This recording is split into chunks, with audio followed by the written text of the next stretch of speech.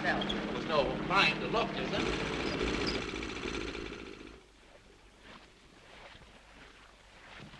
I think there is no gas left. Oh, my word, no petrol? Perhaps I'd better look at the engine. Where is it? They may have hidden it up there under the hood.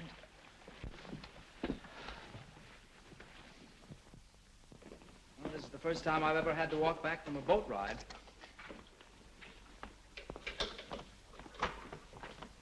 Oh, Jerry, you mustn't come with me. I'd rather talk to Alberto alone. Alberto will have to get accustomed to talking in front of me. No, seriously, I'd rather you wouldn't, please. When am I going to see you again?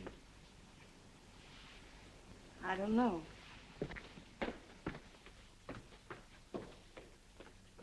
Travers, Mr. Travers, they went after you, said, look for you, sir, in a motorboat. Uh, Mr. Beddini, too? Yes, sir, all three of them, but they won't be back this evening, sir. We took the precaution of removing the gasoline, sir.